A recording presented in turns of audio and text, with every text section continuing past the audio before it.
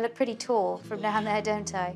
Imagine living your whole life being much smaller than everybody else, and you don't speak this weird person's language. A little daunting, huh? That's what Junie B goes through every day. So, Spencer, when you do get frustrated with her, try and remember what the world is like from her point of view. For more dog training advice and my free online courses, visit positively.com.